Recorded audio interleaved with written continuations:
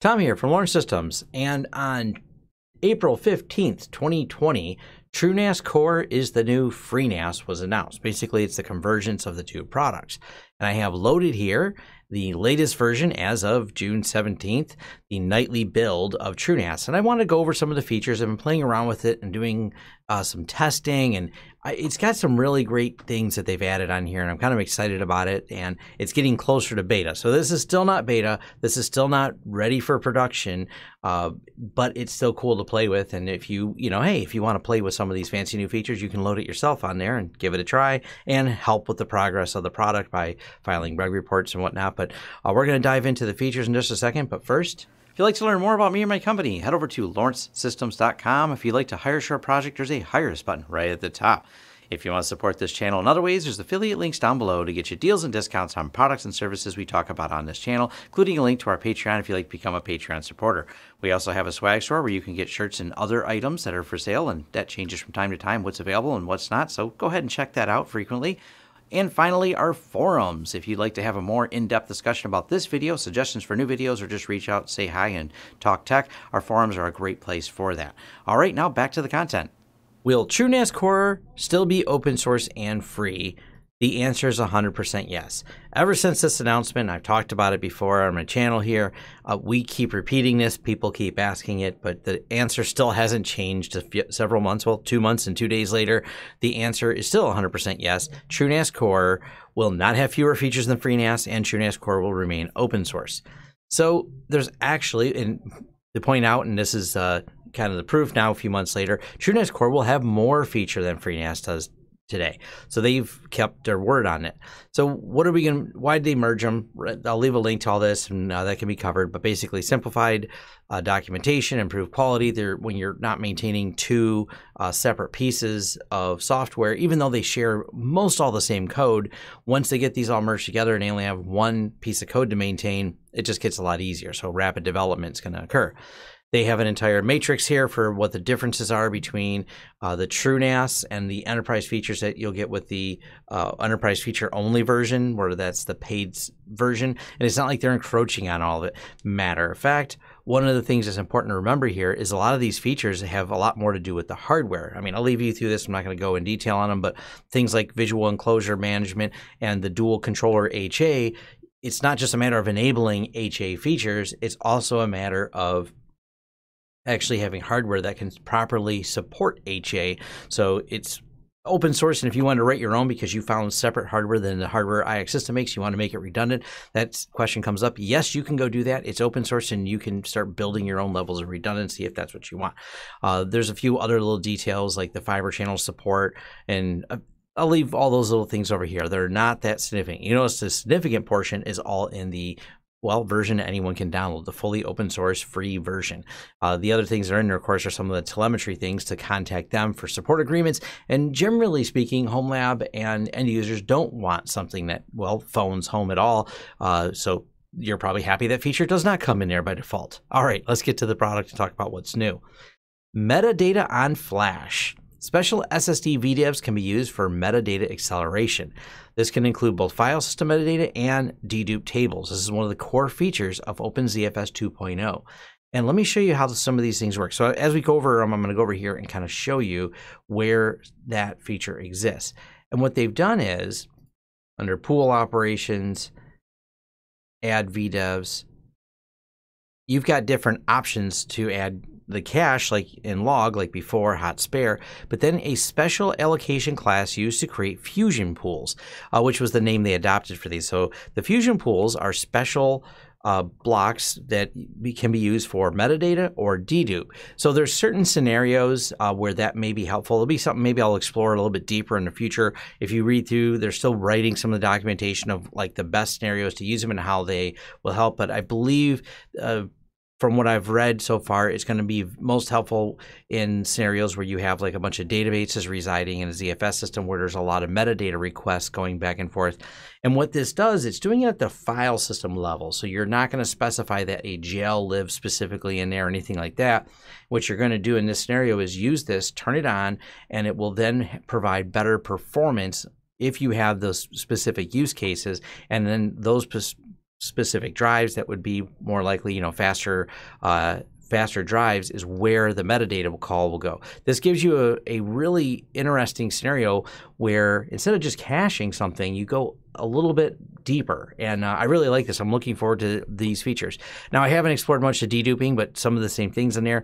Uh, deduplication tables are stored in this special VDEV type. These VDEVs must be sized X gig for each X terabyte of general storage.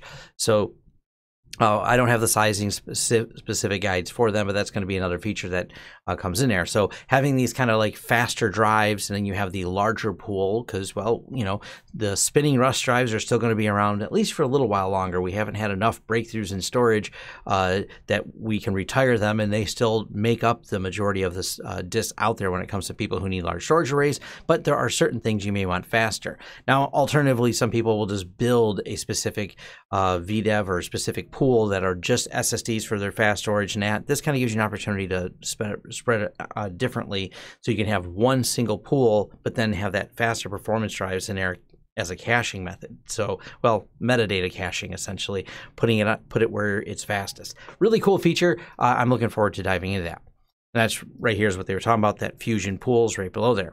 Uh, SSD wear monitoring. Any SSD, boot, L2ARC, log, or VDEV can be monitored for wear and alerts created. So as SSDs become more mainstream, that's really cool that that's uh, going to be in there. Data encryption. Specific datasets can be selected or deselected for encryption with user provided key when replicating a dataset to another TrueNAS. That key does not have to be provided, so the data can be transmitted and stored in the original encrypted state. This is really neat. Let me show you how this works. So normally you can encrypt when you're building a pool. And we have this right here to show us, you know, new icon to show us that it's unlocked. And then I have like this test share right here. And let's go and edit the encryption options. And by default, it inherits encryption options. Instead of inheriting, you can set specific passphrases for each one of the data sets on there. So this is a rewrite of the way it works. It doesn't use the old system uh, as it used to. It's still going to be accelerated with AES-NI processors, which any most modern systems have. Um, so it's not going to be that much of a performance. Matter of fact, it's likely, and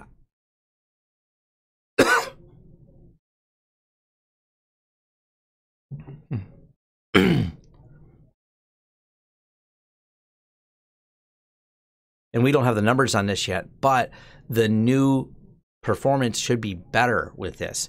And the reason why they they're not doing it like on a per drive basis, if, as I understood it, is doing it right in the file system in the ZFS level, um, and it's just supposed to be a much more efficient way to handle the encryption in here.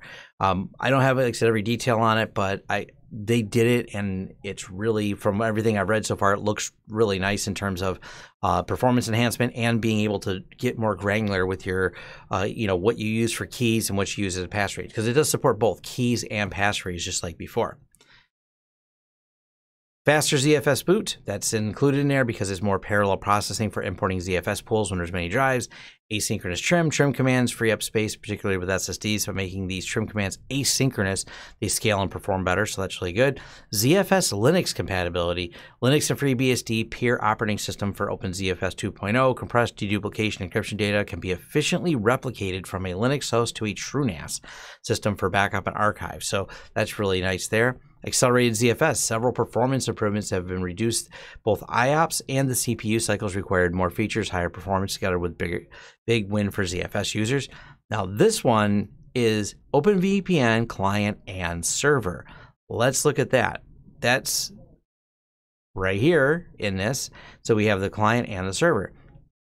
So you can now take your system and tie it to an OpenVPN tunnel, and maybe because you need to be able to tie it to one uh, server that's elsewhere. This could be ways to transport data back and forth across instead of doing it uh, over SSH. Now, SSH is encrypted, but you know why not encapsulate it in a VPN as well? So there's one option if you're doing it replicated.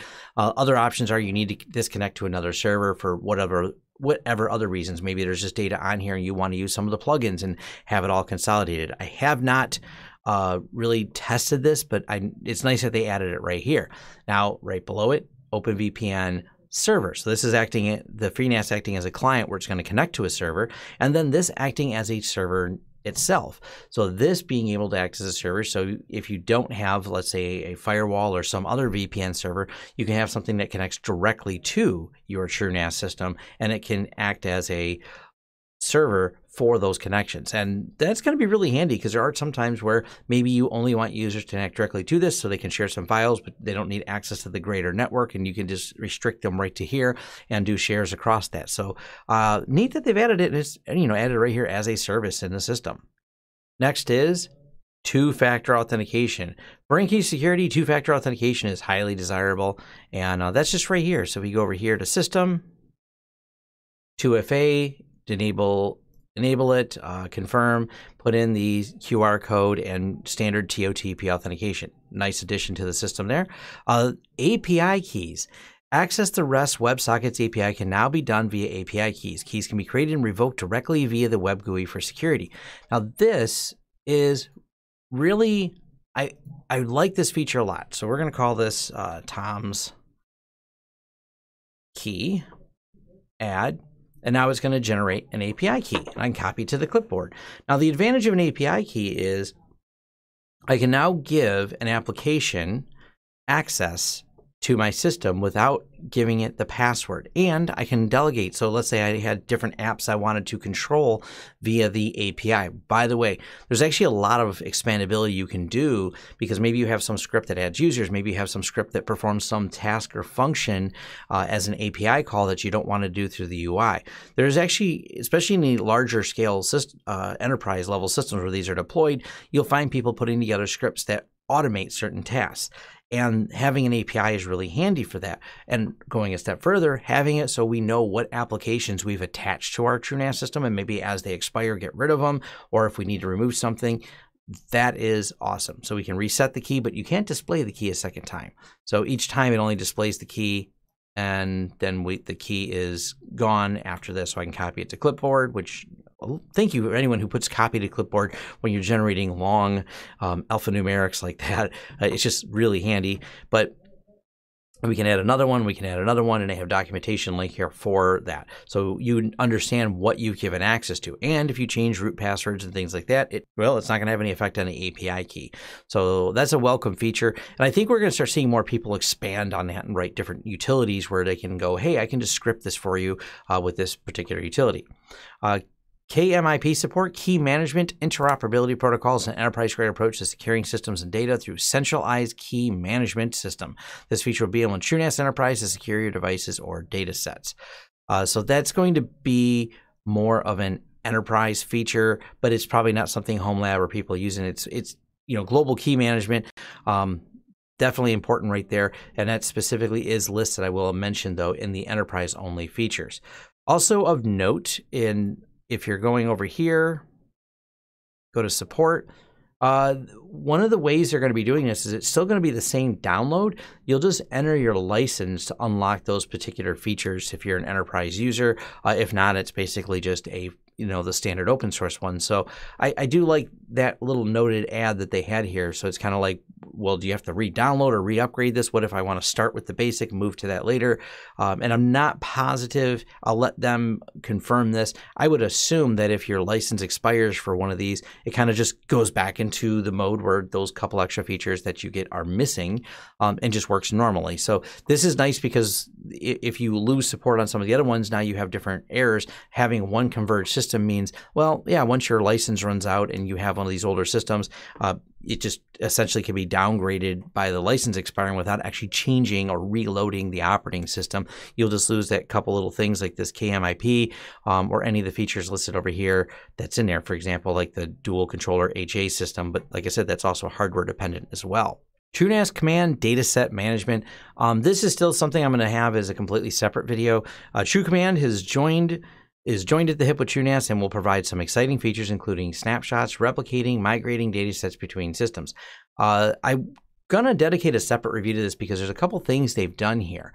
And one of them is status of True Command is shown up right here. You can connect this to a True Command Cloud uh, instance. And provide API keys.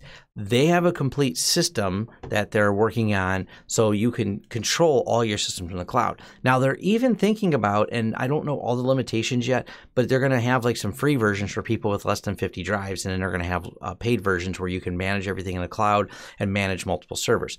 I don't uh, think it's a real problem for the home users or the home lab market because they generally aren't going to want to, you know, have everything attached to some cloud. Usually the opposite from a lot of the uh, home user support, but it's cool that they have it because the, from an enterprise standpoint and from our standpoint of managing uh, FreeNAS and TrueNAS systems for our, our, clients, having everything in one dashboard in the cloud that we pay a subscription for actually sounds pretty attractive. Being able to uh, manage, especially as some clients scale out and have a lot of different servers in there. So it's kind of a neat feature, but it, it goes a little beyond the scope and it's specifically a cloud management platform through here. So uh, I'll dive into that in its own separated video at some time uh, soon.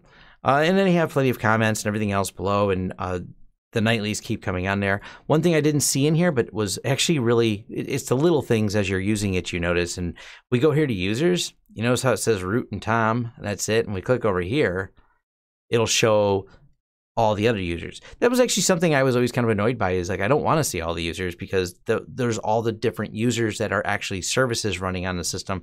I like that when you're setting up on the uh, TrueNAS core that this just shows that by default. Now, the last thing I'm going to mention is I'm going to miss the shark. So this is the dashboard on the TrueNAS system, and this is the one on the FreeNAS system. And I kind of say it because I have this little drawn shark right here, and we've doodled a couple sharks. Uh, this was actually drawn, uh, drawn by the uh, folks over at the FreeNAS team a few years ago, and I've always kept this pinned to the wall. Uh, well, they sent us a swag shirt because they liked some of the videos before I got to know them. Uh, that goes back about three or four years now, uh, but I like it. It's one of the little keepsakes I have on my wall over here. Uh, so I, will still remember the shark. I'm gonna miss it, but I do the new dashboard overall outside of the, the uh, shark logo, which I'm not here to debate their logo choices. Um, it's not bad, but I, I still like the shark logo. Anyways, I do like the new interface. They've really done a nice job of on this dashboard kind of giving you more information, you know, little little highlights, the mouse overs and things like that. Being able to go to reports. The reports still look like this. I know some people are going to be clamoring, going, "Well, I would love a more advanced reporting." That'll come with the uh, True Command system, which does have some better reporting. But for the basics and actually from a daily usage standpoint, uh, as someone who you know troubleshoots and works on a lot of FreeNAS and TrueNAS systems, I'm I find it very adequate to get the information I need uh, without too many problems. And even even though the reports are not uh, the most visually pleasing reports out there, they're effective at giving me the information I need, and that's actually what matters a lot to me is uh, actionable intelligence more so than eye candy. Eye candy's cool. Don't get me wrong. There's always room for improvement, but uh, actionable intelligence is the most important part.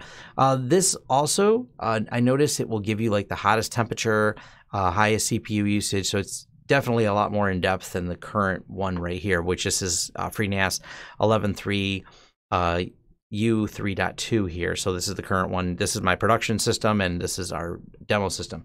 A big shout out to the folks over at Tech Supply Direct because they provided us with this server right here. I have a review on it. This is the R730XD. Um, if anyone's wondering, it runs the TrueNAS perfectly fine. I've had no problems at all with it, and uh, but I'm looking forward to you know th- this as a product. I'll be upgrading. I think once it goes beta, maybe I'll take one of my machines and throw it in the beta so I can do some reporting.